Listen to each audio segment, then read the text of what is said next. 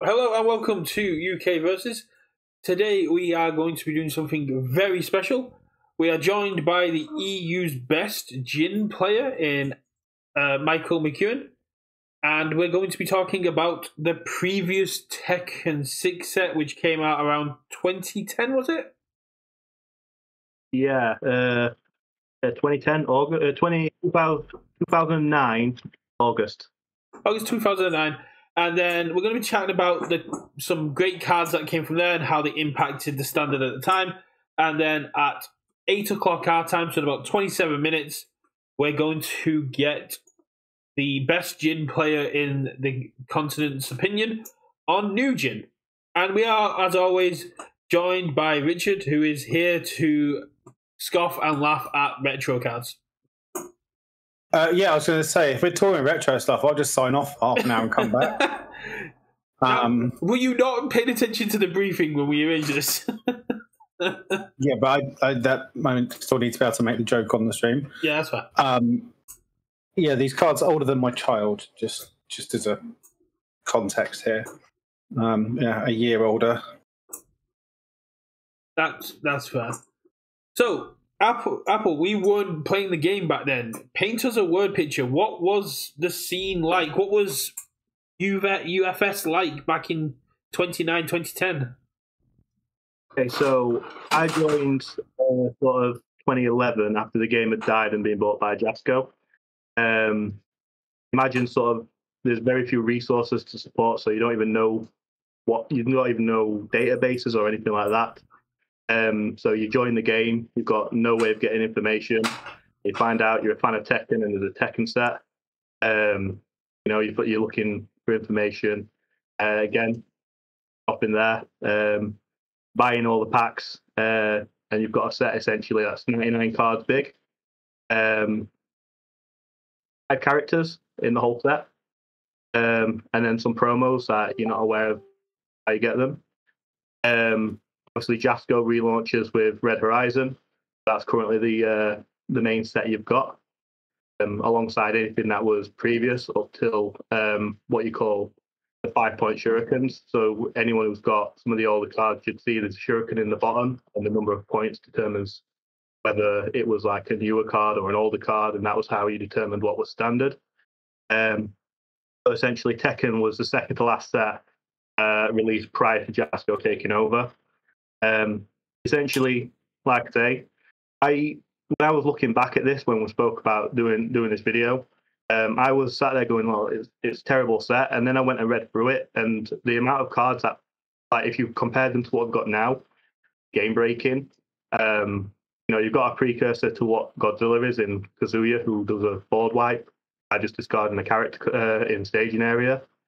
You've got King, who um, can freely play throws uh, every single turn from the discard pile without having to make a check, uh, and discards momentum when it hits with said throws. Um, you've got uh, so many cool cards in terms of um, what was there, Hunt, Hunt for Jin, um, which it sounds basic on paper. You call a card, if it uh, reveal top card of your deck, if it's there, uh, you draw it. But combined with cards we had back then, which allowed you to constantly see the top card of your deck, it was basically a free free draw every turn. Um, essentially, I um I built Jin for my first nationals, um, which was the 2011 nationals. Um, and through, through sheer dumb luck, I'll openly admit that somehow managed to top eight. Um, and uh, moving out to the guy who actually won uh, Born.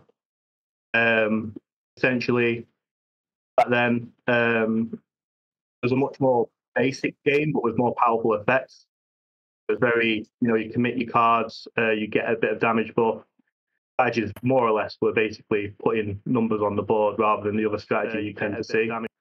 Um, but you know, it was um, it was a lot much smaller uh, uh, player base as well. I think our first nationals was 32 players. If you compare that to what we get now just for regionals, you can see the sort of uh, big difference there. Yeah, it's about like what half really. I mean, it's about yeah. half what uh, we got for the first national, which was webcam, which some people sat out because it was webcam. So that's really, yeah. really cool to see. this would be what was considered uh, from the new like rating system. This was a small set, a 100 card set with very limited resources. As in five characters, I couldn't imagine them releasing a set now with five only five characters. Five characters, and when you look at them, they got a few of the interesting ones. But like Tekken Six had such a wide array of characters. Even in the set, they they represented some foundations that had characters on them that weren't in the set, like you know, apologies for the non-tech fans, but Raven and uh, Jack come to mind. They both had foundations, but no character card.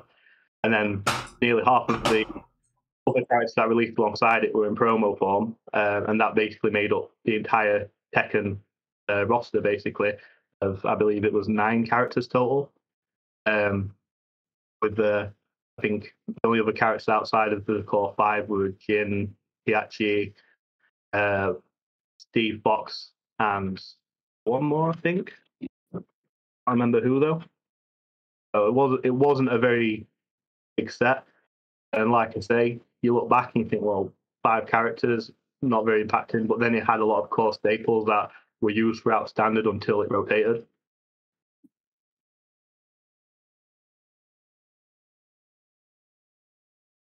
No, that makes a lot of sense. So, talk us a little bit more about Jin and what sort of drew you to Jin Kazuya, Kazama as your character for Nats 2011. Um, yeah, so I mean, there's two reasons. One, I'd always played Jin as in Tekken. Um, Tekken's the only fighting game I play. I'm not hardcore in Tekken, but if I play a fighting game, it's going to be Tekken and Jin's who I play. And then, like I say, there was very little information back then, and so I immediately wanted to play Jin, but didn't even know if he existed. You Googled him and you found these images, but you could not find the card. And when I looked it up, um, the few people I know were like, "Oh, it's really, really hard to get." And anyone who knows me said, you know, if someone said it's hard to get, I want it. Uh, especially when to play Jin, he's a stack of characters, so you need four copies of him. So went out of my way to get him, managed to get my four copies. Um, essentially, like I say, a stack of character. Uh, it's got form commit. Um, your checks get plus one for each copy of a character of Jin in your staging area.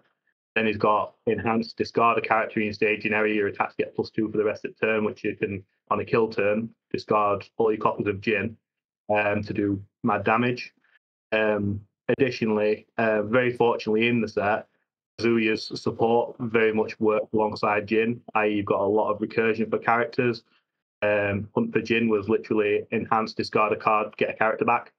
Um, Spinning Demon, an attack which had multiple. Every time it hit, got you a character back to your hand to be able to replay.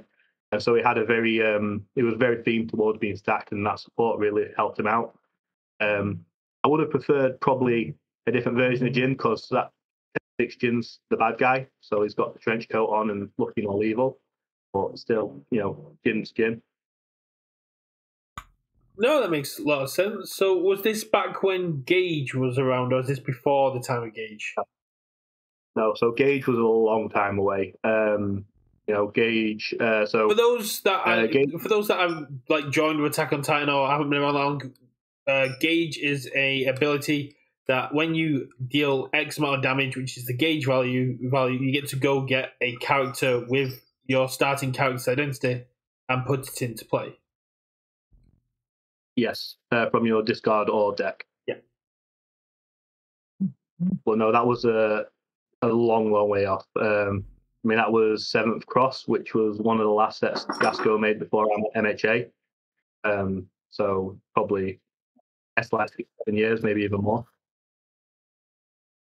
I'm just reading it, and it does feel like a precursor to Godzilla without the destruction ability because you've got city-wide crisis on not city-wide crisis. You got city rampage on face with the check hack for the turn, and then you just discard characters to get the damage that Godzilla would give, and that's absolutely insane. You just commit this guy down, and you go, yeah, I got maximum plus four to all my checks, and then I can just on my first attack give it plus six to it. Yeah, I mean, your typical uh, kill turn would be uh, an attack called Zaime's uh, Wheel Thrust, which was uh, difficulty free, stun free. Um, that gets you your first damage buff and, and such. Then you go into things like your spinning demons, which multiply, multiply um, and then you roll chaos attacks. Um, Demon Slayer was an attack that was incredible. Um, basically, had a static, uh, static which was well in card pool. Uh, when your opponent played an enhance on the staging area, you could discard it and negate the enhance. Um, and so you're clearing your card pool and stopping your opponent. Um, so, you know, it was a really, really sort of um, solid deck. It actually um, came finals of the 2010 World Championships, uh, coming second, I believe. So it was a very legitimate deck back then. Yeah, I mean, even just kind of going second, right? You can form commit your character. You've got plus one on your build turn, right? Yep. Um, plus one on your build turn. Um, um, basically, you really rarely had to worry about your checks uh, while you were playing playing Jin. Uh, don't forget, Richard. Back then, you could also attack on your first turn.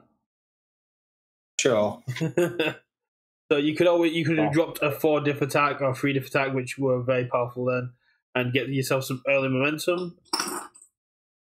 And then, like, yeah, uh, uh, you know, obviously, once you hit that critical mass of getting the three extra characters, like, just being able to say, okay, plus four to everything, and then my first three attacks, I'm just going to stack this plus two, so everything's coming in for potato to put into the string, which I guess is where like the the multiples and stuff come in, and just being able to just have all that extra damage. Yeah. And, and bear in mind, like his kit also came with cards that got momentum really easily multiples. The card called Mishima's Ibetsu Leader, which was enhance your opponent's guard momentum. If you do, you gain momentum. Um, literally that. Um, so you know, he, like his whole kit was very rounded, and uh, you could play him as a really solid character just on what Kazuya's kit in the set got, and then a bit more chaos support that you could uh, put in. Yeah, I mean, I've always been a big fan of uh, six hundred to twenty-eight health that have chaos, death, and fire. Like I say, he's just always been my favourite character. And obviously, the fact that my only single standard top cut was with him, obviously, there's a bit of uh, sentimentality there as well. Yeah, once the new Jin got announced, you were kind of like immediately on the boat of if this is standard, if this is standard legal for regionals, I'm playing it. And then it got confirmed. You're like, I need to know what this does as soon as possible, so I can start testing. Yeah, um, 100%. Like if they'd have announced him as a blank character, I'd still be playing him for regionals. Um, so you know, I'm I'm I'm excited to be playing him um, uh, again. Like I say, it's probably my favourite character from any of the IPs have ever done for UniVersus. So I'm definitely going to be excited. I mean, that's that's definitely some some committal. But what is it that makes Jin your favorite? Because I mean, like you said, you've been playing this game for 14, 15 years now. What is it about Jin that has consistently made it your favorite to the point where you have literally just said, if they printed a blank Jin, I'd still play it? Um, I just like the character in the games. Is you know, is a well-rounded character in in the game itself. Should I say in the actual technical guys? Um, is a well-rounded character. Occasionally, a bad guy, but not really a bad guy.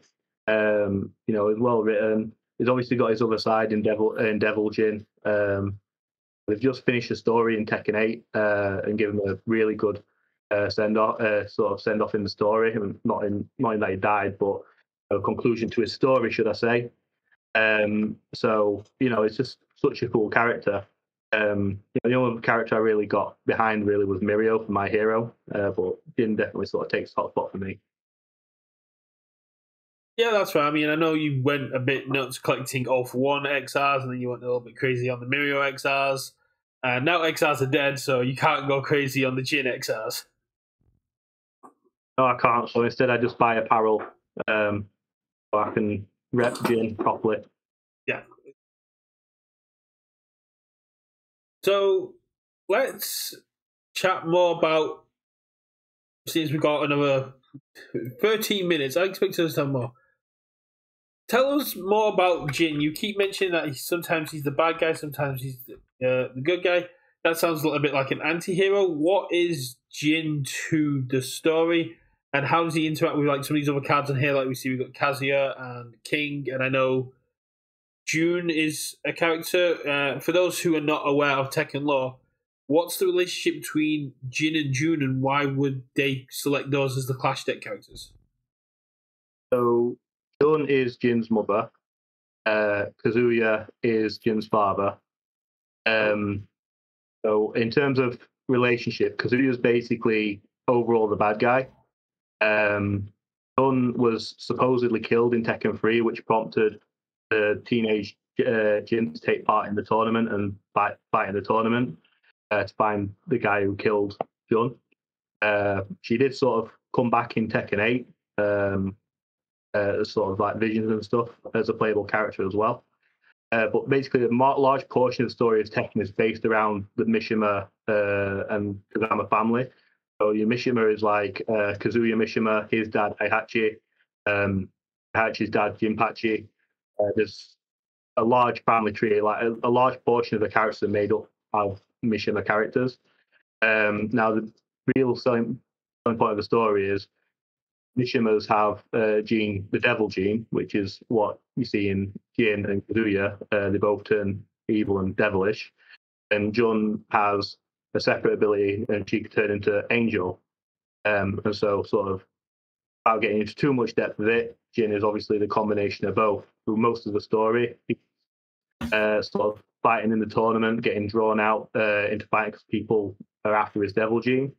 Uh, in Tekken 6, he takes over sort of the main corporation that's heading the tournaments, and he sort of starts global warfare, and everyone's like, the bad guy.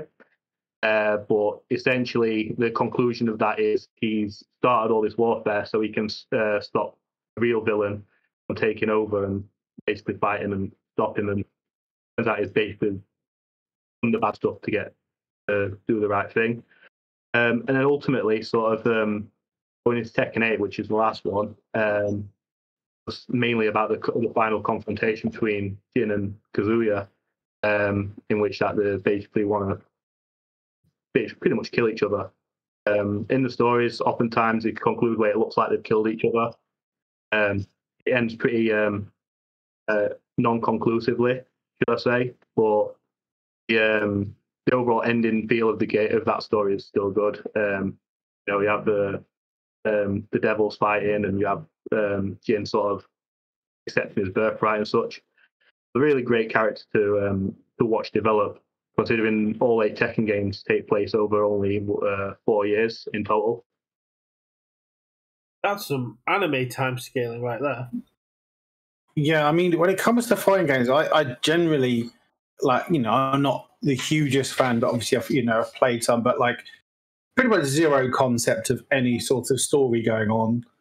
Um, like the only one that I had any sort of vague idea of what was happening would be like Soul Blade, Soul Calibur, which was mostly just them fighting over swords and like you know the Soul Edge, like, and that was it. That was about the depth of my knowledge on it. But yeah, fighting games, I, I, I law, I know even less about than I do anime to be fair, most people we don't play fighting games normally for the story. To be honest, let's be honest. Yeah. Playing it to do cool moves and beat people up. So UFS, uh, aka UniVersus, got its start with fighting games, and it sort of built its fan base on fighting games. And when it came back as my hero after the pandemic, there's been a lot of people have been waiting for fighting games to come back. Were you one of these people that were quite happy to see fighting games come back? And would you like to see more? Because I mean, we're getting a, a we're getting a Street Fighter Challenger. We've got the Tekken here. Would you like to see a main set come back? Oh, we got Guilty, so, Guilty Gear, right? Um, Guilty, Guilty Gear is well, an yeah, anime yeah. fighting game, so it's kind of still in the same wheelhouse as MHA and stuff. I mean, for me, the um, the the play the playing of the game is sort of always the more important thing. Like you know how the game plays is fantastic. I love games where you play as a character and that character dictates your strategy. Um, from the original Dragon Ball Z from Score to this. Um, now, obviously, happy to see Tekken. If you're going to pick a fighting game, Tekken or Street Fighter would have been my top pick. Um, uh, but ultimately, for me, when they announced all the newest IPs, uh, Turtles was sort of the one that I was like, great. I'd love to, you know, I can't wait for that.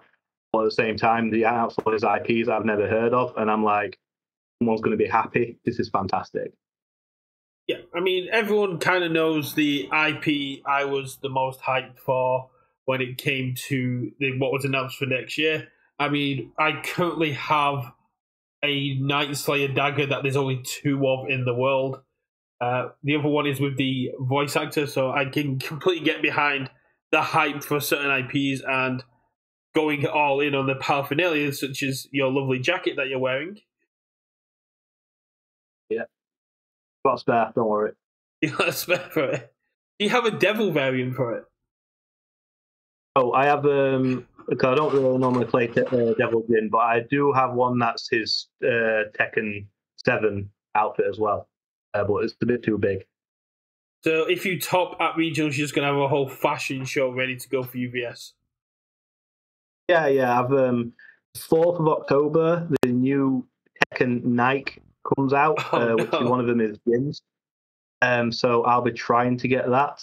Um, so hopefully I can. That'd be awesome. Like, as someone who owns a pair of all for one shoes, that people do notice when you're wearing branded shoes. It's really, really cool. Yeah.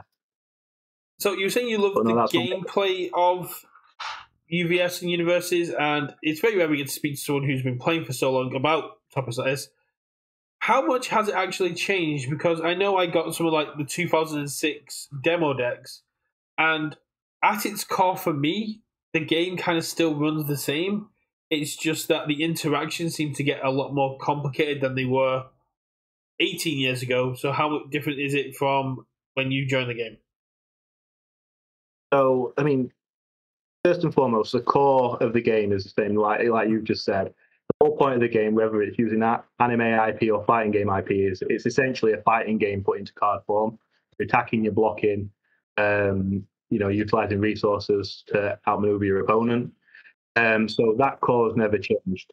Um, in terms of things like the complexity, I'd say it's not so much that it's more complex now. I'd say that uh, the complexity is more refined. Um, back then, you had some cards that were very like off the wall. Like they'd, um, print cards that literally said, "Can you play a form, draw a card?" Example. Um, and I'm sure we've all seen like the his- history videos like Tim Keith put out, uh, where he talks about the various stages of UFS and such. Um, like a lot of the older sets, it did seem like they were just they did it because they could and not whether they should. Uh, whereas now you've sort of refined that, and it seems like they tend to, at all stages since Jasco took over up to UVS Games, it's like they've got a vision for what they want, um, which, you know, it, it's it, for me, it makes a more complete game.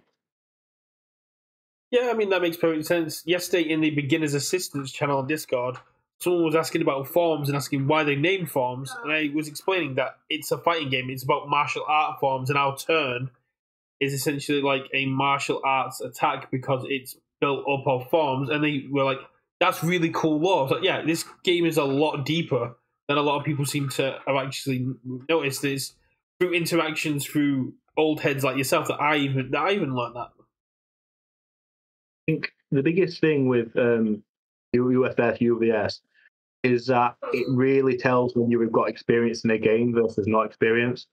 Like you could have someone with a lot of experience with a very basic deck really well against someone with no experience, but you've given them a top tier deck because every decision you make at every point in the turn, in every turn, impact the overall end result. It's not a case of that one turn wins you the game like every single decision matters. And so that experience really shows when someone decides to commit one extra card and overcommit and ends up losing three turns later Yeah, and it's one of the things that I know a lot of card game players do do in multiple games is the games they lose stick with them more than the games they win, and they kind of self-analyze turns in those games, trying to figure out the exact moment they lost because it's not like you said, it's not the attack that killed them. It's something that happened earlier in the turn, early in the game. That was the tipping point. It's like I needed to do something there to change the flow of the game for me to win. yeah and there's so often times where you can pinpoint something you potentially did which you know in a lot of games it's not always the case like some you know certain games your opponent just draws the nuts and you lose um, and that can happen in UVS. I'm not going to take from that, but like the, your basic game where you know you've got the standard back and forth. Normally, if you went back, you can finish that exact moment. That, that makes perfect sense, and it's part of why when I'm talking to new players and I'm talking to them about what they should build is because of ignore the meta, ignore what's competitive, go with what you love, because getting used to this gameplay, because this, like I said, this game plays differently than a lot of other card games. And although you get some transferable skills from Magic, from Yu Gi Oh!, from Pokemon, from all these other games, actually mastering this game is a lot harder because every single form you do, if one of those forms is not properly executed, just like in martial arts, it affects the entire flow of your turn. Um, I always say when we're teaching new players, I'm, I say, look, you are going to lose a lot of games at the start, but that's because you're playing against players who have that experience. As you gain that experience, it'll slowly shift. Exactly. So Yeah, one of, the, one of the best ways of getting better at games in general is playing against people better than you and losing and sort of evaluating why it is you lost, right? What are the decisions they made? You know, what are the decisions they made to to get that win? Like, what did they do differently than you? Like, what mistakes did you make? And then sometimes it's about sort of divorcing emotion from things and realizing that sometimes you make the correct decisions and still lose anyway, and it was still correct to make that decision, right? So, Yeah. Yeah. Yeah. So we have a minute before we can start looking at the previews. So what are your hopes for Jin and Jun? What do you want to see from these clash decks?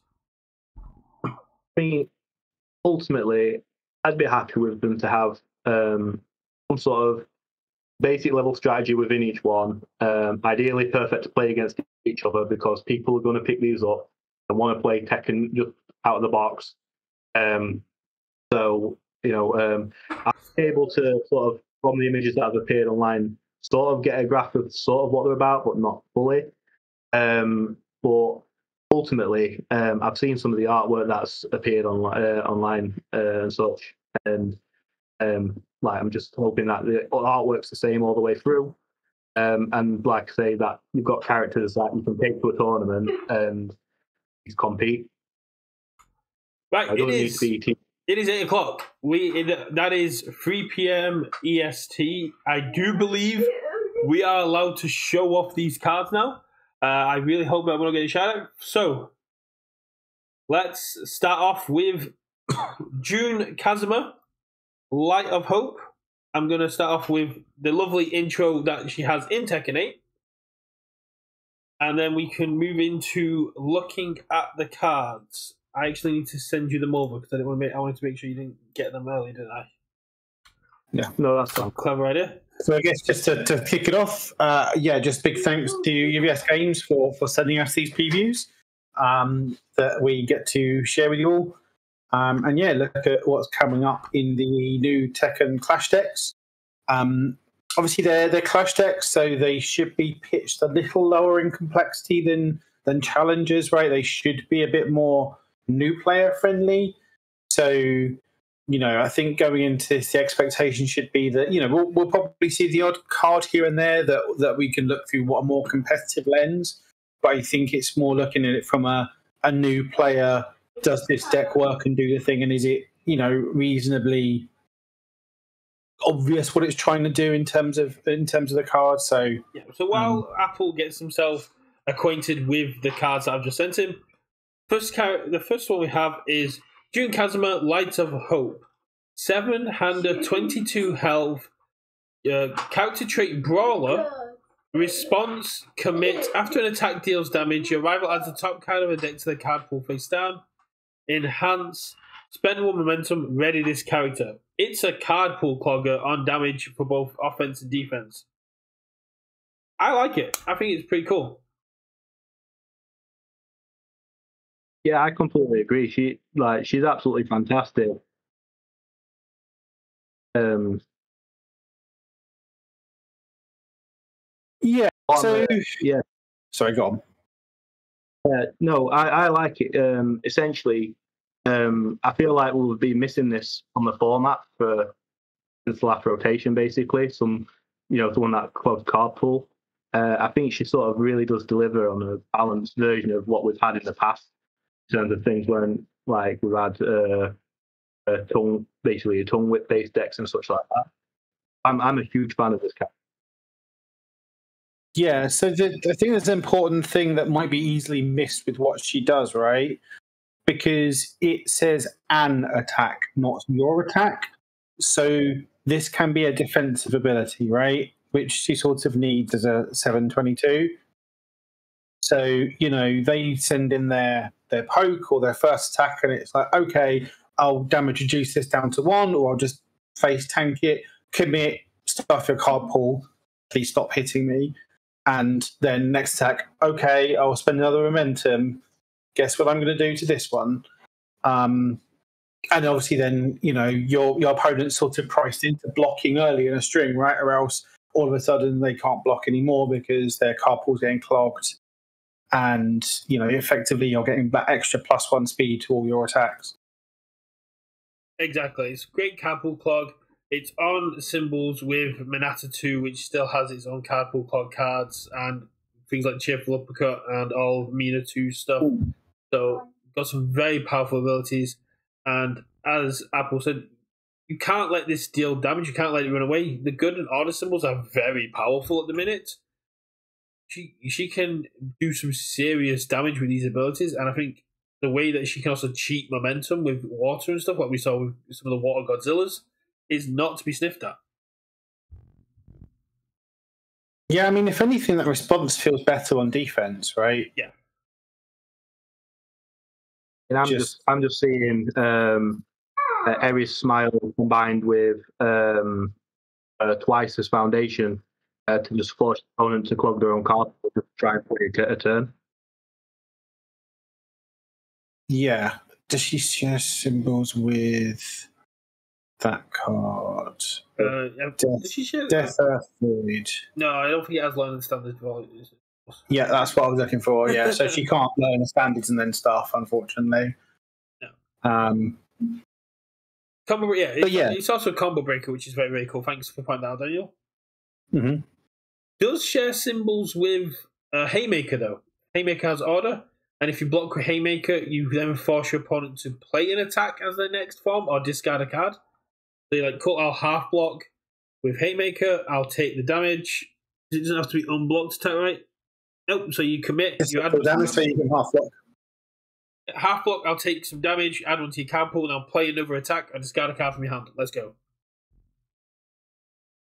yeah, I think she's really cool, and I think she has a lot of potential. I just think, personally, in the current meta, a 22 health that stuffs the card pool by one kind of gets rinsed by things like Smiling Titan and these big, massive, big attacks that are trying to get a lot of damage through. That's the same for lots of characters, Yeah. right? But like, just there, there, are, there are a lot of string characters at the moment. So, like, I, I think her her defensive ability of being able to stuff your card pool is is not to be overlooked. Just whether you're damage reduction, whether you're half blocking, whether you're just face tanking, you know, whatever it happens to be. Um, like, I think that's that's really solid. Um, like the main thing she's lacking is just a, a way to find damage, which you hope she's got things that, that work with her card pool clog from that perspective, right? Um, like she can sort of do pseudo speed with her card pool clog, but you know, obviously she wants to find ways of sort of poking early, generate momentum, maybe force an opponent into a turn where they have to overcommit or feel like they have to overcommit because you've got clogged their card pool. You know, you make them check on a you know a six for their second attack, and then they check a three, and all of a sudden you create yourself an opening. So that, that feels like it, uh, Richard, but how do you feel about City Rampage in this character? what City Rampage are you doing for her? Making it giving a plus one plus one to all of her attacks and making sure she can pass checks. It's a seven hander that still leaves open with a lot of uh, draw power and attack power. I mean, she could be, um, maybe.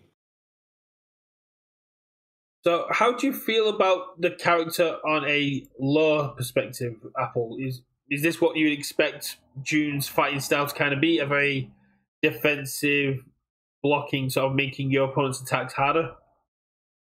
Um, I mean, in in the game, she's basically just um, a very hard to block character, fast. Um, I'd say she's sort of it's a fair representation. To be fair, um, she's very commonly used online because she's easy to pick up and really like you know she gets gets in quick. Um, so I think that's fairly good. To be fair, um, good representation. That's awesome then. So let's move on to the UR attack of the Clash deck, which is Amatsu Izanami. I hope I'm saying that right. Six diff, one low block, four mid for eight. Punch with an enhancer that says your rival adds a top card of the deck to their card pool face down. Nine. Yeah, cool. This is a 5 8 with, yeah, essentially. I I love the fact that a it's her ability on card, but I'll be honest, the first thing I'm thinking is put in a good Mirio deck and change its zone. Uh, so low four for ten damage and you clog your opponent's card pool. See, I went to a different direction. I went, this would be very cool in, uh, I've forgotten his name now. God damn it. Karama. It'd be very good in Karama because you just go, I'll play this on a six, stuff your card pool, stuff your card pool, let's go. Yeah, and sort of I guess works with funny punchy things right on order. Yeah. Um. So it's a really nice looking card. I really like Oh. like the artwork of this. Um.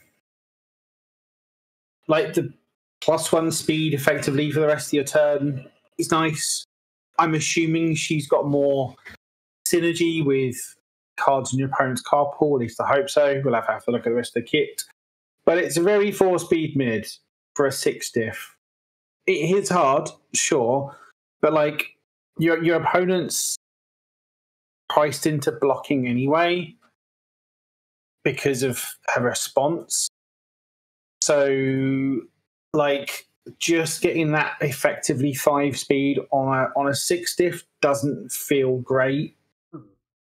Um, yes, it hits hard, but they're they're always going to be trying to block this. So, like, I'd almost rather this be an eight speed for four damage, right? If it's an eight speed four damage, it's always getting through, and it's not the that's not kind of the point of the Clash deck. The Clash deck is No, no, no, like, sure. yeah. So yeah, I mean, obviously, I'm looking at this from like a competitive lens. I think it's it's cool. It does her thing. Um, it just hits hard. You know, you're telling your opponent now in two ways you need to block this because it's coming in for eight damage, and if you let me, if you let it hit you, then I'm getting another card in your card pool, right? So, um, yeah, There's a lot of utilization uh, outside of uh, Jun, to be fair. Yeah. You know, Godzilla uh, leading in with um, Citywide Rampage, um, stats you're putting on that. Um, there's a lot of characters I think could really benefit from that pseudo plus one speed by clogging the card pool. if you want that uh, eight four, you can always put in Hawks and have an eight four high. Mm. Yeah. It, I suppose the only my only beef with this it just doesn't feel very ultra rary. But again, that might be just through the lens of this being a clash deck, right? Um, We have had a very good point in chat, which is, do you know who plays this very well, Richard? he's not a character. Izuku Midoriya. Got that lovely water. This is a seven eight. Yeah, for a seven diff. I, Not that exciting. I'm sorry, a seven eight, a a seven eight that puts plus one progressive seems very good for a seven diff attack. Not really. It's very mid. Don't do anything else. It is a very mid attack. That's you know, kind of the point behind it. Uh, but yeah, the artwork It's is mid in all absolutely respects. the artwork's gorgeous. I love the little signatures along the outfit, and I really want to see the foil patterning of these cards because I think So the artwork I've noticed is uh, for this and Jin, uh, when you do your logo on the game, this is like the alternate logo you can have for your character, for oh, that particular character. that's really Sweet. cool. That's, that's really, really cool. Yeah, and I guess obviously with these being clash deck, there won't be any um, collector boosters like things. Yeah. So after that, we go to the lovely five diff common attack. So we have Grace, which I assume is going towards her angelic Grace. five diff, two high block, two low for five, with a simple enhance of stun two. This is a very good clash deck card. This is what new players kind of should be learning with. Yeah, and I'm much more. I'm much more high on this one than I am the previous one. Sure, it doesn't hit as hard, but it's off zone. It's got stun two, so it's kind of pseudo two speed for the rest of the turn. It's only a five diff rather than a six. Um, And if it hits, you're getting plus one progressive, which means you've essentially taken out two of their foundations and given them an additional Yeah. thing to uh, for their speed, uh, additional progressive difficulty. I think my only issue with this is that um, the five diff slot seems to be a lot more integral index now. Yeah. And Hmm. so I think as as like solid as this is for a clash deck, I feel um it really struggled to find a place for it outside of the clash deck, to be honest, just because of how many really good five diffs there are. oh yeah, absolutely. Yeah, I don't think this is necessarily a competitive card at all, unless you're desperate for punches on certain symbols, like order punches or something, or water punches. Like unless you're desperate for punches on that symbol, I don't think it's it's gonna see any play. But No, I mean, could see some Mina two play because I, she- I think is it a charger range or punching range for her. Punching range, I think. It's punching range. This could see some play in Mina two because, like I say, it's an off zone. He's got stun two. Nah, she's got much better stuff to be doing. That's fair. That's fair. But yeah, this is just a very good learn to play card. It's kind of what you want from a clash deck. It's a low mental load, high yield in learning how to play the game card. Yeah, yeah. It's it's like I said, it's, it's solid for a clash deck. Yeah. attack. Uh, love the art. Love the leather pants outfit that's kind of going on here, and I assume Grace has something to do with her abilities. I mean, I'm not up on her entire uh, move roster. Um, I'm going to go with Shaw. Uh, Yes. You'll be more lore heavy when we get to the Jin side of things. yeah.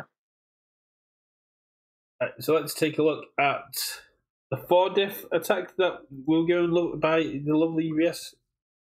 So it is a four diff, one mid block. Harakade Kaganagi. I do hope I pronounced that correctly. Four, Araide Kanagi, I would say, but Kanagi. like again, I'm probably butchering it as well. Four high for four with enhanced. If you have at least one other punch card in your card pool, this attack gets plus one speed, plus one damage. So if you play this as your second attack, it's a five five. Mm-hmm. That's yeah, that's decent. That's another Yeah, common attack. That's decent. Yeah. Again, I think we've seen a pattern here. These are clash decks. You know, these aren't competitively slanted. I don't think this will be see competitive play. I think it's great for a clash deck. It tells you what you want to do. You know, you read that card and it's like, okay, this is my second attack or my third attack or whatever, right? It's just obvious, and you get paid off for doing it. So you feel a little bit clever, like as a as a starter player, right? It's like, oh, I can read this card, I can pass what it does, I can do the thing. So like it's it's really good from that perspective, and like not a it's not a horrible card like a five five or five for a four. It's fine. Got one mid block. It's fine. Like it doesn't need to be crazy. This could see play in Midoriya Water as well. Again, probably not. It's just a like a card. You know, I think cards if they're just raw stats need to be better than that. I mean, Um, they need to be better, but outside of a clash deck. This, I think, this is again another nice, perfectly started thing of, oh yeah, this is an attack. You play it, and then you can enhance and get benefits for playing for having other cards in your card pool. So you don't just have to Mhm. attack and pass. If you play two attacks, this will get better. That's a great progressive learning tool for people who want to play a game because the Attack on Titan demo decks are cool, but not everyone's an Attack on Titan fan. They're going to pick up the Tekken 8 decks, and this is going to be a great teaching tool as well. again, this, this is a deck you can progress to from from doing a demo, right? Exactly. Like there's nothing crazy going on here. The only thing that's slightly disappointing so far is there's nothing really that capitalizing on her card pool clock so far. I would probably Um, see that more in the foundations if it's meant to be a defensive tool. If that makes sense. so we've got an interesting, which is Shunki and Hoba uh, Shunkai. Three diff, two mid block, three mid for free with powerful free. yeah, no, that's just I like that. It's cool. I love the art. There's some nice capture of movement and action.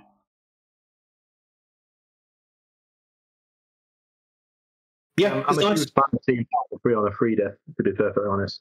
Is that? How you can throw this on the end of, end of a string as a free diff, and it's got powerful free to uh, push that damage through. I think I think that's really good, to be honest. Yeah, it's kind of like uh, when people talk about uh, cannon mouth, cannon tongue, whatever. It's kind of like that thing. You put it at the end of your string, you just go, "Yeah, I'm just going to pump all my momentum into this because you've got nothing left." Yeah. Or like, obviously, if you're playing the order symbol, you do the same. It's a four diff, but it also starts as a six low six, right? Powerful three. Yeah. Um, but yeah, I mean, like honestly, this might be the card out of those four attacks so far I've seen that is most likely to see competitive play. Just if you're in the market for playing a deck with three diffs, and like I say, this being something to, you know, I've taxed all their resources. Oh look, this is now a three mid for 12, but you don't have any cards in hand, so catch it, sucker. Are there any of the Attack on Titan three diff matters? Uh, your characters that are on order. I think Connie might be on order. I think they all have certain amount of like three diffs amongst them, but I don't know if there are. But yeah, like it's again, I odds are this doesn't see competitive play, but I think it it, it is the one that, that has that kind of dunk potential that maybe it does, but again, I don't I don't think so. But again, it's it's totally fine for a clash deck, and as a as a newer player, you can sort of see the play pattern there, right? Of oh, okay, I can play this as my third or fourth attack when my opponent has like you know spent their resources because they're forced into blocking my stuff or they get their card pool clogged, and now all of a sudden I can spend all that momentum to to kill them in one big hit. Yeah. So So let's take a look at her UR foundation now. So we're looking at the power to stop Jin, which is going to make Apple a bit upset. Unique, enhance commit. Your attack gets plus one speed, plus two damage. Destroy one moment. Destroy spend momentum. If your character is Jun Kazama, your attack gets plus two speed and plus five damage. That's kind of underpowered for a UR. No, I mean commit for one two isn't horrid, and effectively having sugar rush in your stage is pretty good. Like just as as her. if the enha- if the second enhance for this uh, destroy spell momentum was tenacious, then maybe because then you can get the three seven and you've lost your foundation sort of thing, like as in one big spend. Mm, This just looks like a retrain of charging one for all, um, with one less speed gain and momentum on the cost. Yeah, this is when I when I commit. I mean, you're getting plus one, plus two. As a there are rares that do more damage or like the same kind of thing. So as a UR, I, you expect something to be a bit more powerful. But remember, he gets that clash deck. This is quite powerful for new players to come across. yeah, And I'm a I'm I'm a big fan of that game. Like those stats, like it's a great finisher. Um, you know, I obviously I know I said it's a retrain of uh, charging one for all, but ultimately when you put plus two plus five on attack at the end of the string, you can finish an opponent off. Just find it a bit unusual that this is like the second deck product where the foil foundation has had pretty much the same kind of ability. Okay, and now Yeah. we're gonna. yeah. I mean, I guess charging one for was gated, right? And like this is sort of character gated, but but like plus two plus five is not to be sneezed at, right? You know, everyone's happy to jam sugar rush whenever they can, and that's that has a lot more gating and takes and, and can't be committed to past checks, right? So and this you know and commit for plus one plus two isn't nothing, and you can just do that until you're ready to go. Oh, actually, the, I want this one to connect, or this one is connecting. I'm just going to put five damage on, or what have you. So yeah, I mean, I think it's solid, but I probably just unplayable outside of her. Uh, yeah, because he's got the limitation. But we've got Purge the Evil, 2 diff, two high block, six check. Enhance commit. If your rival has two more cards in their card pool, your attack gets plus three damage. So there's your synergy with card of the card pool. Yeah. pretty good, I think. Like the numbers around the edges, and like partially like a card that I, I might have like um discarded, but like you know, Tim was talking about this in our little creator chat and how he was very impressed with this card, and like sort of caused me to have a little look at it, right? Because it seems fairly unassuming on face. But like if you look at the numbers on the edges, like two six is pretty solid. Like it's got the six, that's really nice. The six Two high block is pretty decent. Like a two high on a foundation is nice. And commit for plus three damage is, is a pretty good rate. Like you're fairly happy with commit for plus three. Um and so you just gotta jump through a little hoop to to turn it on. But also like in a way you almost don't because you could just have this in stage and like you know your opponent's sort of holding a couple of cards in their hand and you just start throwing attacks. And they're like you can block these if you want but then i've got this sitting in my stage that you're well aware of that says if you block the first couple all of a sudden you now can't block this third one in my string that is now coming in with plus three. It's also a Um, great anti Mirio Reiner Invincible Body card because they you can sort of sit there with these six, seven damage attacks and they go, cool. I could zero it out, but he's just going to give it plus three damage back, and that's not Hmm. great. but yeah like commit for plus three is, is a good rate on a card and and the numbers hold up as a two six with Yeah, a two high going to run a six check like this. How, how are you feeling about it, Apple? I'm a huge fan of this card. Um, like uh, like Rich said, the numbers are perfectly fine. Um, the fact that it's got two six on it and then a high block, I think that's great. What I'm seeing from the whole deck is, even though they are clearly tailored, tailored for new players, the experience they'll get is every card seems to allow them to understand how to get its payoff. They can have Yeah. that experience of really enjoying the game um, and getting payoffs off of all the cards. So I think so far I'm really impressed with what they've put out for the product. That's a very good point. As a step up from the demo, where the demo is like, these are your basics of basics, being a step up to more, this is how cards interact with each other and how you can be, how as you get better with the game, you can understand more about the benefits of playing these cards and how they're going to work together is a great step up before you get to the challenges of, and this is now what you need to have to stop your opponent from killing you. Yeah, yeah. I mean, I, I totally agree there. Um, obviously, I have opinions about the Attack on Titan Clash deck. We're going to go into those, but like this feels like a like so far these cards feel really good as Clash deck cards.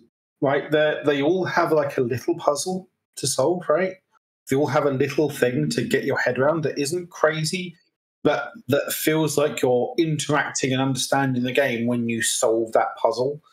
So, for example, just like the the Haradi Kanage, it's like okay, I need to, I you know, I, if if this is my only attack, maybe I need to not attack this turn, or this you know it needs to be my second attack this turn. Okay, I've played as my second or third attack. I've solved that puzzle, right?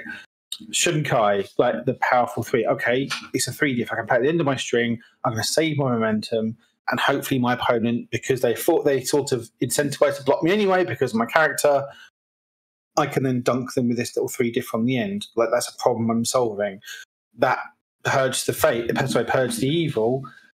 Okay, again, it's it's like you're seeing the, the sort of how that card interacts with the game, and it's not crazy complicated, but there's enough there to sort of get your teeth into as like, okay, how do I solve this problem? How do I make my opponent turn this on? And from the like from the other side of like, okay, this I don't need to turn this on, right? Maybe I my opponent doesn't block me because there's there's all those puzzles going around with these cards that I think make a lot of sense. Like the power to stop Jin, it's like okay, when do I just commit this for one two, or when do I want to spend that momentum, sacrifice it to make this big attack that hopefully then connects? Like Yeah, exactly. So none of them are crazy complicated, but they give you puzzles to solve in the game that I think the new are players a lot engaging. yeah, they give the new players a lot more experience and a lot of great ways to learn and understand the interactions of the game. Hmm. Uh, so let's move on to the next common, Defy Fate. So a two diff, two mid block five. With destroy one foundation, your attack gets plus one speed, plus one damage. This this is decent. I mean, obviously, keyword locked, but she is just all punches. So that's fine. This is a nice deadlock out. I think that's its purpose in the deck to teach new players about deadlock and deadlock outs and how to play how, how to play around with your foundations and going. Well, I don't know if there's even deadlock in this set, right? I don't know if you've seen it. I don't know if we are Oh, going to see any, but it's it's a way of you know, you know, way of learning how to use your resources, and sometimes destroying your resources is a, is a thing you want to be doing. Like you've commit something to pass a check, you then destroy it for that plus one plus one. Again, small problem you can solve, small bit of strategy there of oh, I've committed this to pass a check. This is the resource I care about the rest of the turn. I can just get it back to you know, I can just get plus one plus one, and we're all good, right? Um, and again, two five two mid, nice stats. So yeah, it's a solid card if you're playing punches. And again, I, I could see this seeing play in in standard if punches are a thing. If you're a punch deck, then this is probably going to be a a sort of deadlock out style card that that you would consider. I mean, we're getting a lot of order punches here, and repeated smash was a hundred dollars for a part, for a reason at one point, so it Mhm. could come back again. So I'm a huge fan of this card. Like, um, you know, it's great to see. Um, I, I like when you see uh, both stats getting added, so speed and uh, damage.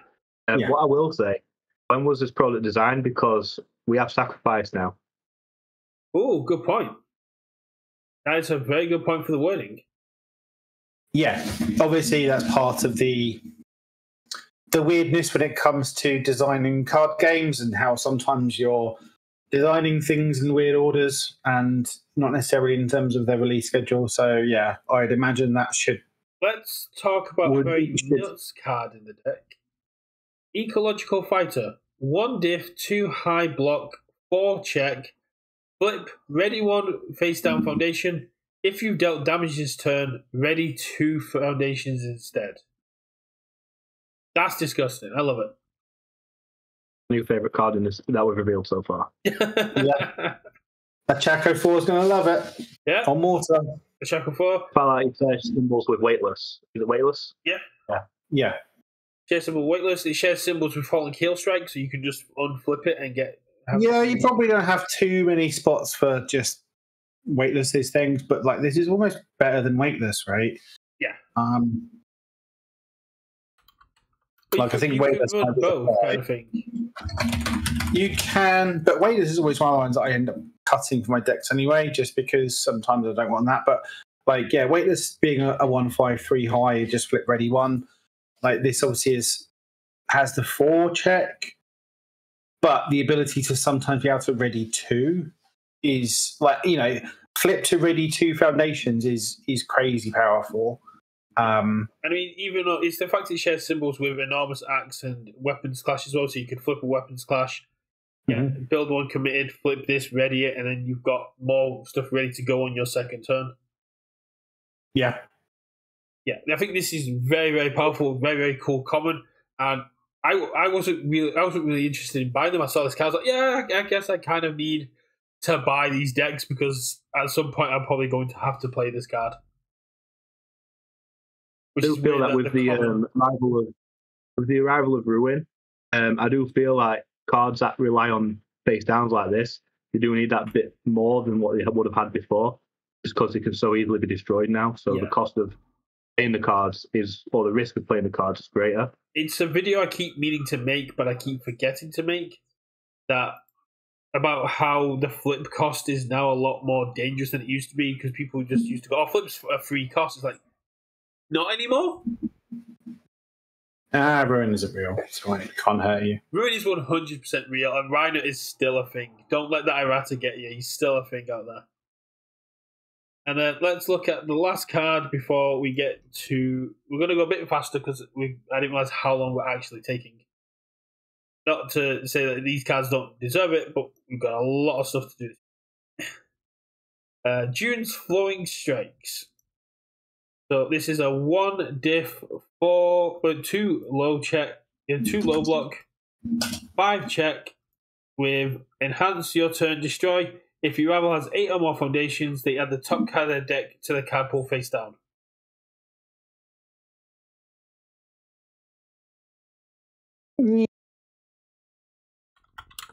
Like it's a one five two low with a ability that isn't amazing. I mean, like clogging their card pool by one, sure. Um, just getting a effective plus one speed and everything is okay. Um, but it being gated to eight or more, like you know, pseudo mini deadlock kind of thing, doesn't feel great. Um, again, it's totally fine, but as a, as a destroy cost, like you have to be sort of going in that turn, right? Yeah. Um, it's fine. Uh, your thoughts, Apple? Um, same as Richard, to be fair. I think the thing I find most interesting about this is we're seeing more and more cards that specify a number of foundations.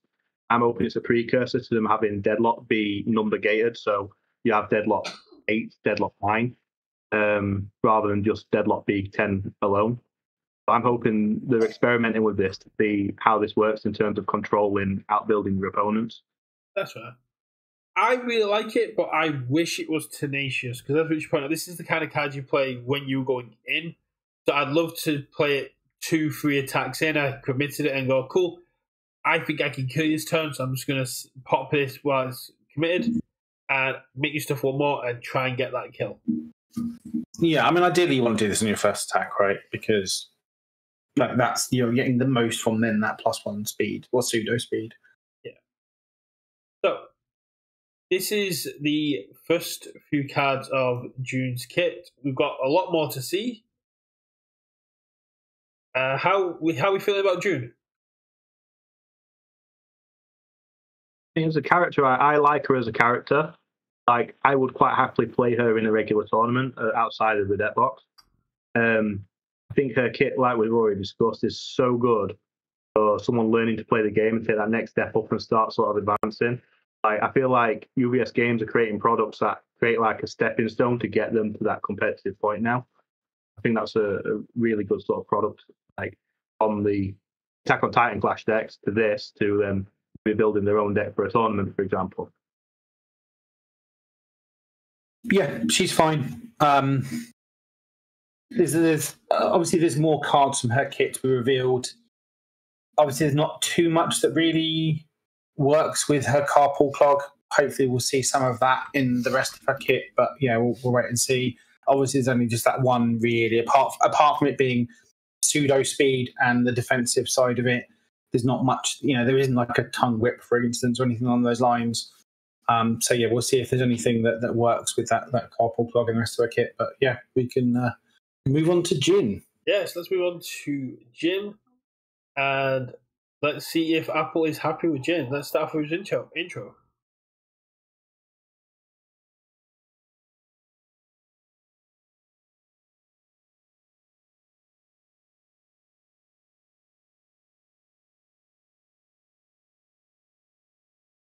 I don't know if this plays be volume, but I can, uh, maybe it is on stream. Like, because I've got it muted, but Uh, yeah, there's no music for it because I don't want to get copyright struck. So Jin, that is fair. the Lightning of Fate, which is a very very cool sounding name, is a six-hander with 31 health, brawler, air evil good. Commit your attack gets plus one speed and plus one damage for each attack in your card pool. Enhance if your rival has eight or more foundations, your attack gets plus one speed, plus one damage. It's, I mean, it's, it's kind of pseudo deadlock you were talking about before, Apple. The committal makes me kind of sad unless we can find ways to keep readying it back, back up.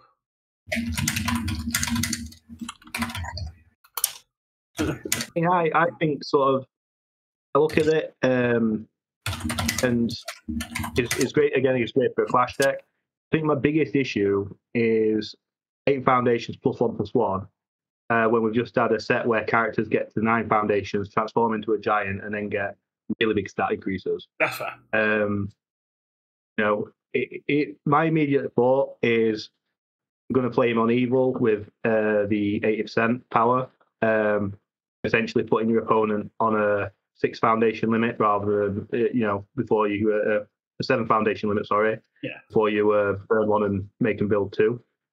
Um, would have liked to have seen maybe even if it was one more damage on that second enhance, but and that card looked awesome. Yeah, I was going to ask how you feel about the art and the fact that your hoodie is currently in the art.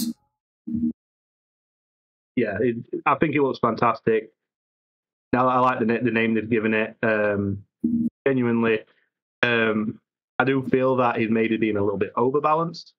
Um, I think if he'd have had slightly higher stats on that second enhance, he'd been a really great gatekeeper for all the transforming characters currently, like in the meta, your Reiner, your Bertolt, and stuff like that. Yeah. I think that that increase doesn't quite uh, get him there. But I mean, I'll still be playing it.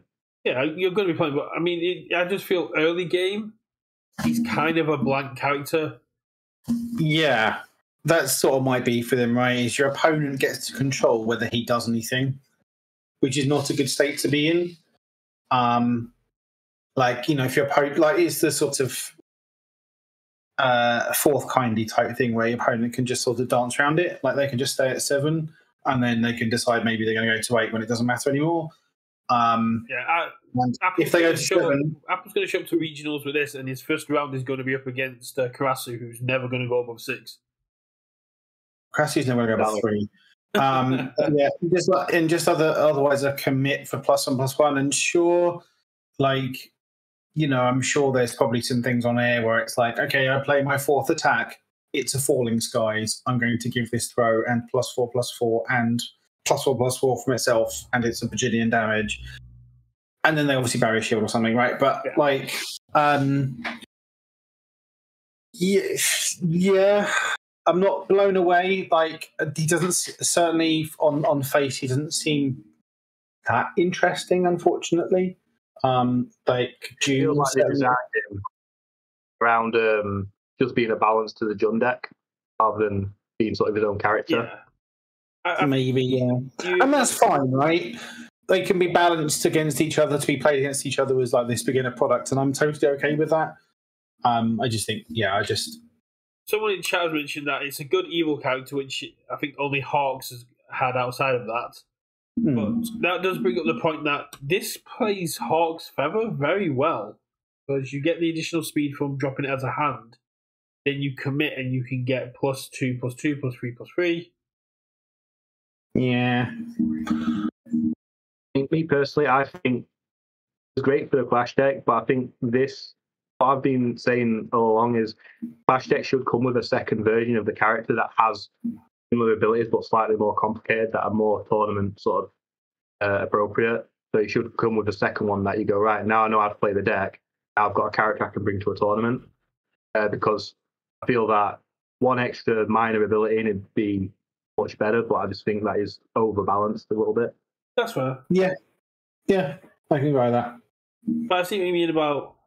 I, for me, I know what you're saying about it being to offset Jun, but the commit ability doesn't seem to even offset Jun because it has to be a taxi card pool, and she puts face downs, so he doesn't really get to even utilize her ability and go, "Ah, I'm using your ability against you." hmm Uh, but let's take a look at some of the other lovely cards we've got going on here. Well, yeah, where's that one hiding? There it is. So this gorgeous card that we've seen in the playmat art, I believe. Yeah. Is Polar Demon Gorge. Gouge. Gouge. Six stiff, zero low block. Love to see a zero low block. Free, uh, free control. Four mid for seven. EX free. Enhance your rival's check to block this attack gets minus three. So essentially, it's a seven seven. What do you, first of all, let's start off with the art. How are you feeling about this art, Apple? I love the art. Like, I would play this card even if it was blank just because of that art. if it was I blank, you could have a full art version, which would be even better. But I actually really love what's written on it as well. Uh, essentially, it says this attack's going to hit you, or you're going to have to use a lot of resources to stop it. Yeah. Yeah, yeah, I like it. Like, sure, it's a six diff, but it does have a zero low block, which is really good. And it's you know it's it's it's weird the the check to block thing, but it just means that sort of uninteractable speed to an extent. Um, so it's like a it's you know it's a seven mid seven with EX three. That's pretty chunky stats for a six diff. So I'm sort of much more on board with this one than And the other. zero low block. Yeah. Again, probably doesn't do enough for a, a constructed thing, but I, I I'm much more on board with this as their their big flashy ultra rare than I was the other one. I, Um, I'd, anything, sl- yeah, I'd the this is in really good. Mirio. I think Mirio could have some fun with a seven nine off zone attack that says that yeah, waste resources.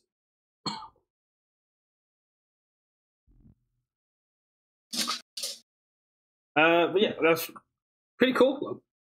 Go a bit faster for these because I haven't eaten yet, and neither has little boy, and he's starting to get a bit hungry. Which is a bit awkward because we've got other things that I wanted to record, but we'll see. Uh, then we have High Right Roundhouse. Got some cool Roundhouse cards in it.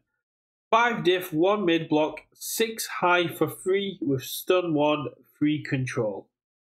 Is this more what you're looking for, Richard, in the last one? No, I mean it's fine, but it's three damage on a five diff. So you know no one's ever playing this. Um, But last time you said you'd been happy if it was an eight for four on a six. So I, no, I said I almost would have been. Like just because it works better with the character, she wants things to connect to get that progressive speed from the cardboard clock, right? That's not what what Jin's doing. yeah. Um, I mean, this is a seven four in him with stun one. is it? If if there are eight foundations, which as Apple was Yeah. saying, you can build them so they kind of forced to have to build out. Again, look, but we're looking at this from the context of like, yeah, you can play eight percent power for playing the single structure and stuff like that, right? But from, from the context just of the clash deck, it's just a bit underwhelming in terms of three damage on a five diff. Like, yeah, it's got nice high speed, so it's sort of like a really nice guaranteed momentum poke. Um, but other than that, I'm not sold. Um, yeah, totally not laying down. Was saying Godzilla might play this, but yeah, I don't think he has any of those three symbols. I mean, yeah, Godzilla doesn't have the uh, evil that's Hmm. good. Um, Mirio might play it. How do you feel about this in Mirio Apple? Uh, I mean, Hero can play it, but I mean, it's not got slam or punch, so he can't. Yeah, Oh, it's a just a kick. kick. Yes, it's the kick. Uh, I, Um, I mean, I like the card. Um, I like the uh, you know it comes in with good speed, but unless you've got some really hefty damage pump, uh, if if your character that's got really free damage pump, good card because it's gonna it's gonna connect. Um, I'd say Jin doesn't probably give it enough damage to warrant it. that's fair. Godzilla minus one does. That's fair. Uh, Minus one isn't a character, we know that. Izuku Midoriya on the move can give us some stats. You can give it even more speed. Even more Woo. speed. Get wrecked. Uh, yeah, I think this would be pretty cool. It's, I think it's decently styled if you want to get momentum to help out with other attacks later on down the line. Yeah, like it's it's a reasonable just I'm going to poke for momentum, but it's the easiest thing in the world to damage reduction and the easiest thing in the world to just ignore and take three damage. So That's yeah, not really. That's a fair conclusion.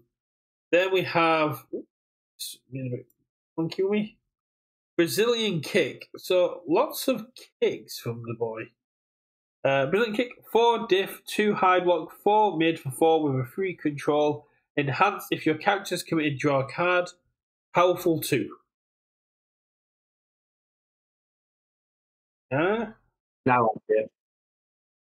Um, anything that's got draw on it, I think is good.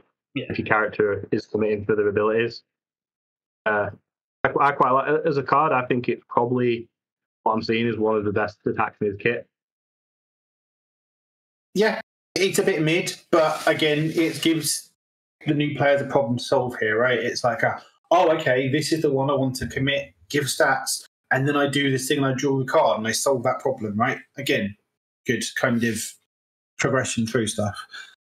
Um, And also, I think you could then obviously then dump momentum on to get extra powerful after you gain a whole bunch of speed and stuff from his ability. So yeah, it's solid. Like it's not exciting. Um, fine. yeah, I mean, worst thing is you commit your character as a first attack because you want to draw another card, and it's a five mid for five that that's let you draw a card. It it's hmm. okay. It's more getting used to using your character's ability in a clash deck, which is something that's very good for players to learn how to utilize.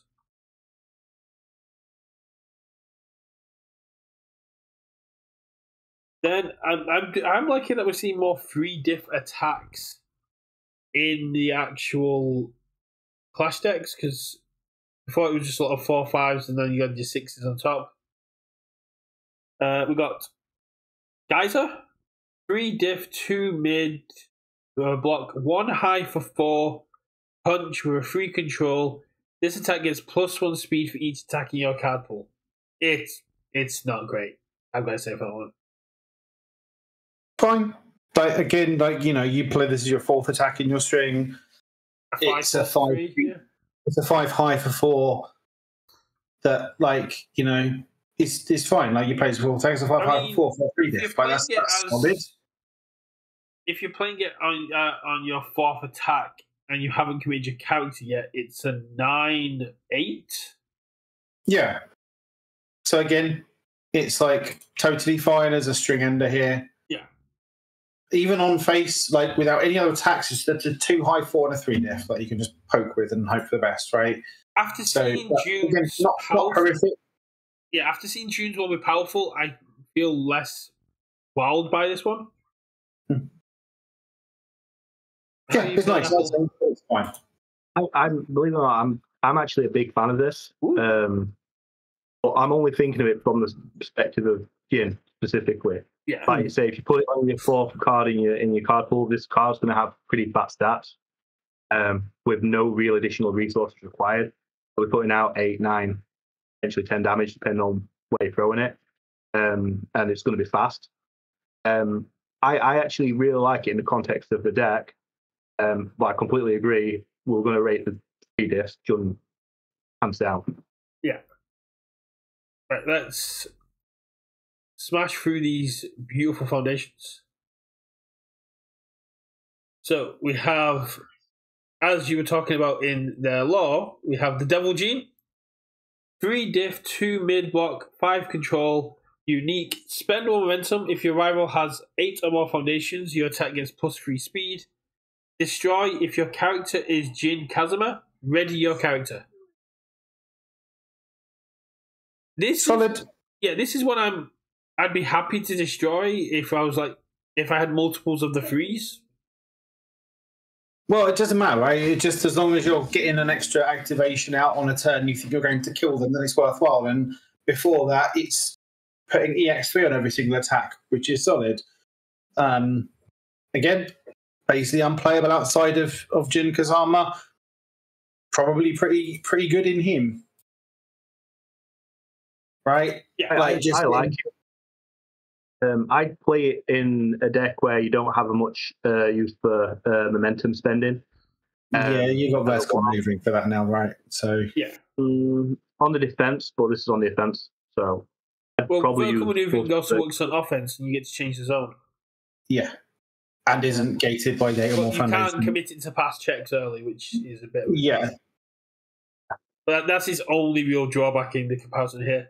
But yeah, as Dan says, outside of uh, him, he's just bad maneuvering. Yeah, it's solid. It's a card you're playing him, right? But that's it. So after that, we get Jin's Heart. So that is a two diff, two low block with a six check. So again, so we're seeing the two cost six checks coming in. Commit if your if this if your attack deals damage, your next attack gets plus three. I prefer to see that as a response um, when your attack deals damage, but apart from that, it's okay. Yeah. Um like obviously this works very well with that six three, right? That's sort of the joke here, I guess. Um like outside of playing stuff with his kit. Like it, it's obviously a two six too low numbers. Numbers good, Yeah. But like you can imagine playing this on a throw, right? I will commit, and then I will say if my throw deals damage, next gets plus three. So again, there's a little hoop to jump through to get your plus three damage, but commit for plus three damage is pretty solid. Um, and also, like you can say, like I will commit this fast attack is if it deals damage, your next attack gets plus three. Are you going to sort of spend your resources to deal with this one, or are you going to wait and then deal with the next one? And spoilers, I wasn't actually attacking. I was, and you took that one, right? So there's, there's again, there's little bits of play here for a reasonably simple card. You get that dabby free fallacy of I'm going to put plus three on my next one, regardless hmm. of if the next one's coming, just to put you on edge of. Do I really want to block this one if the next one's going to be bigger? Yeah. In general, though, I'm not a fan of commit. My next attack does a thing. Um, Type, just uh, because. Titan Cliff doesn't have good, does it? It's a void, earth, and chaos. yeah. So you can't, yeah. I mean, building this off Titan Cliff would be huge. It'd be great. Yeah, it's fine, but I'm not. I'm not as sold on this one as the the other one from Jun's kit, just because that's a commit do a thing now, whereas this is a commit do a thing later. I'm never a huge fan of those. Um, How are you feeling about Apple? So I'm I'm sort of slightly the opposite of what Rich just said in terms of I don't mind commit do a thing later. I do mind commit you might get a chance of doing something later. Yeah. Hmm. Um so you've utilized the resource and you've got to deal the damage. So your opponent it's in the hands of your opponent, they can cancel that ability just by stopping it. Um, I just uh, I always feel that sort of you know, you're very bitter when the um when it gets stopped. Or, you know, it's uh it's like I say, it's a bit of the puzzle to play in the deck. Yeah, I mean, it's great for new players who are playing these against each other because you get to go to your Jun, who you're playing against, going, you need to block this, or my next attack comes up. So it's a great learning experience and getting that interaction. But for me, it's just been a better response. When you attack deals damage, commit your net, commit this, well, commit after an attack deals damage, your next one gets plus three. Would have been smoother. Because you're not letting your opponent block it. You got they already have that thing of I need to block this because that's down but it isn't just going, oh, if you block this, my ability just go does nothing. Yeah, I can see why they've done it like this because like they'll probably avoid too many responses. In fact, have we actually had any responses in these yet? Uh, just on but her, I think. Yeah, Just on just on Jun. They're probably avoiding having too many responses so they can be more simplified in the game state Yeah. when they're playing it. Yeah, that's fair. That's that's a great catch. I didn't even notice that, but yeah, the amount of responses has been quite dwindled. I think it might literally be only on Jun, and sort of her ability Out sort of of what we've has to seen get so far, there is another I Yeah. twenty cards left to be shown. Uh, then we have the Kazama fighting uh, Kazama style combos, which has got a very cool looking art. I think that even looks very, very much like a demonic wing coming out of his back, which is very cool. This is attack I spam. Hmm? I'll spam this attack every game I play. and then we've got enhance. Flip your attack gets plus one speed, plus one damage on a one cost, three low block, five control. That's decent. Yeah, no. Like it's it's fine. It's fairly modest for a, a flip cost, right? It's just you know plus one plus one isn't hugely exciting just on a flip cost. Um, it's okay. Not something again totally fine for a clash deck card. Not something I'm running at rushing around trying to play. This is the kind of card of hose teaching people to play with because don't forget you have got plus one plus one there if you think that's going to help you get the attack through, get the kill. And oh, that's a very good point. And this card could be the difference between killing your opponent and letting them live with the Jin commit.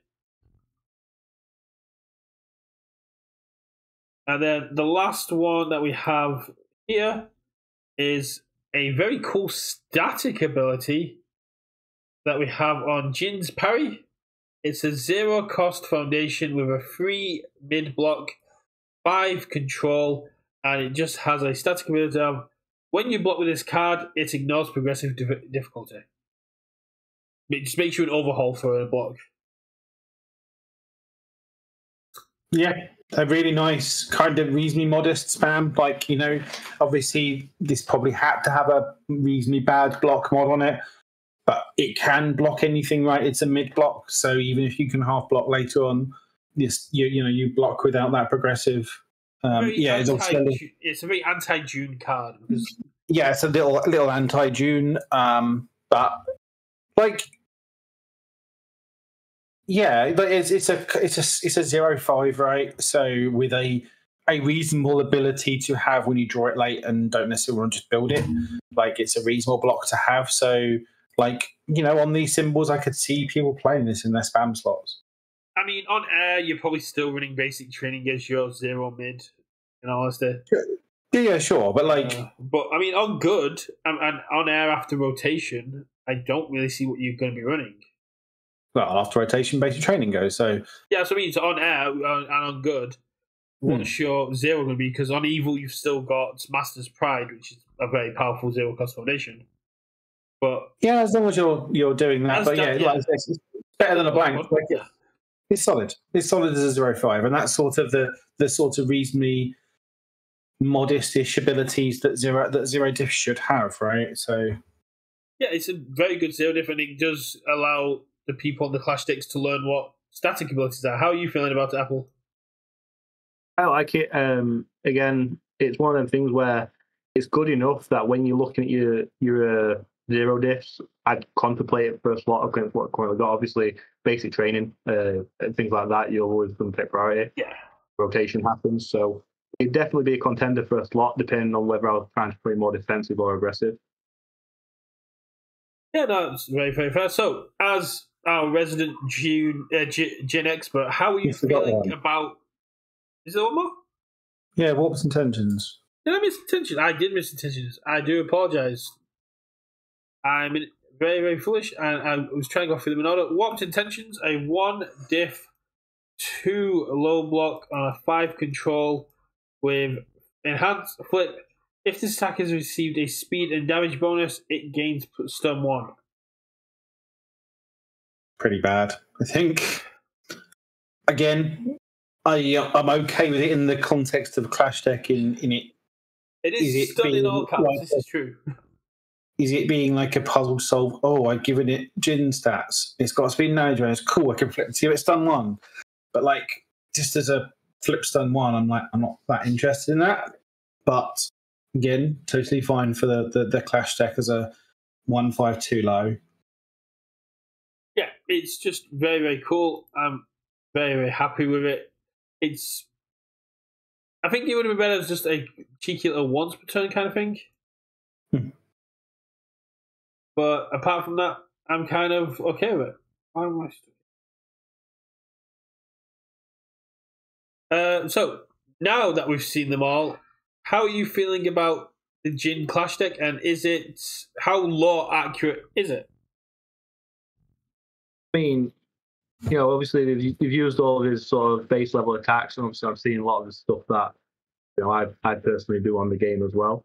Um, I'd say yeah, he's basically um, a character that has he plays a, a form of karate, so he's basically fighting style combined with uh, Mishima style, which you, know, you get represented in his like his ultra rare and uh, some of his foundations. Um, I overall like it. Um, you know, I would have preferred maybe a few higher numbers on the character specifically.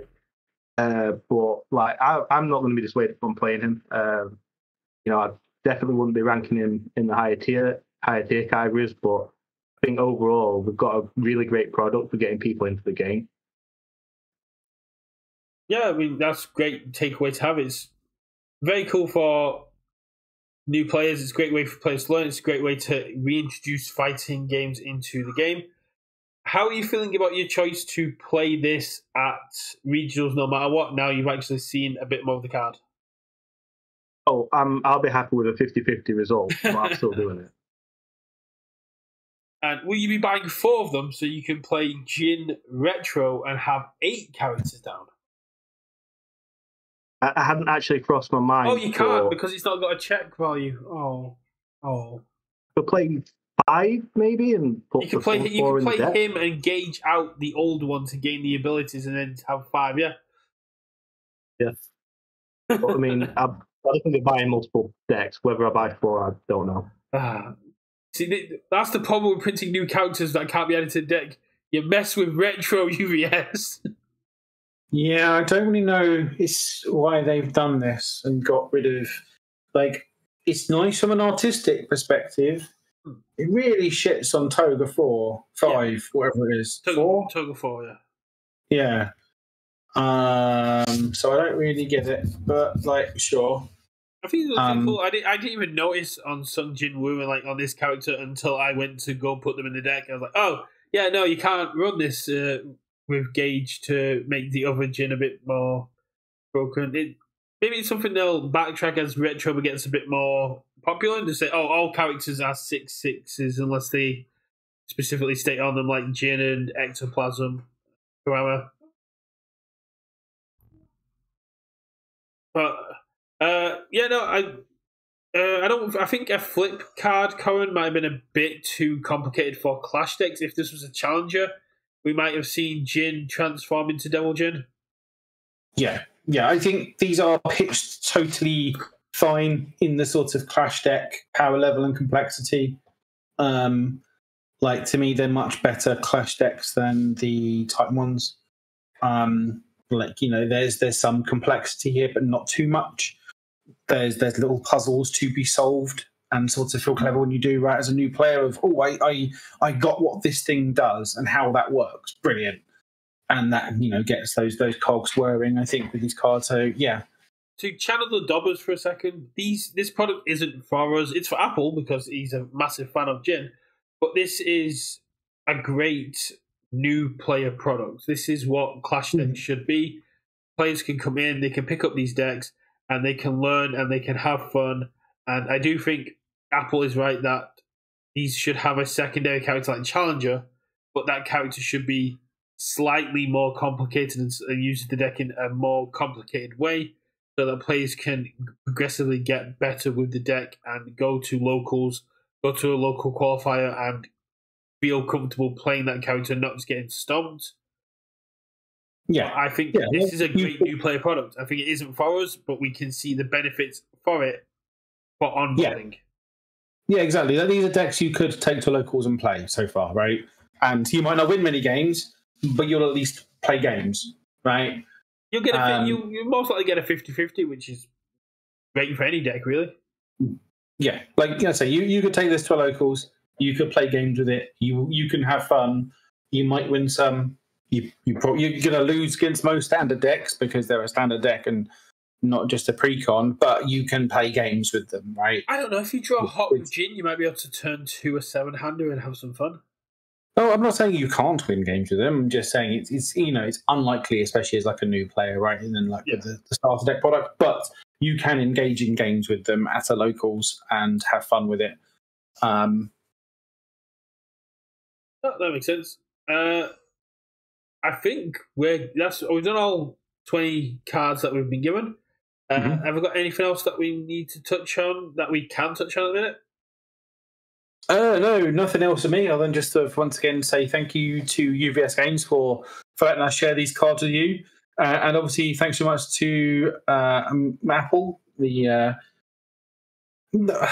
number two judge in the UK. I'm sorry, Murray still has a, the top place in my heart, but uh, yeah, very very much. Nice. Thank, I don't have an issue there. I mean, de- definitely number two judge because there's no way Murray would skip out on an event just because it was his wedding anniversary. Yeah. um, but yeah, thanks so much for, for, for, joining, us this evening. And yeah, I guess any any final uh, thoughts on on the Swim yourself, Apple? Um, yeah, I'm I'm excited to be getting a hold of this product. Um, I'm excited for all the announcements that are coming out. Like UVS Games are really past couple of months have been knocking out of the park with some of the comms coming out. Um, and so I think very excited for sort of seeing what's going to be happening in the near future with the competitive play, all the different IPs and stuff. So forward to it. Yeah, I'm just recording a video myself where I'm just talking about the fact that UVS is on an unprecedented win streak at the minute.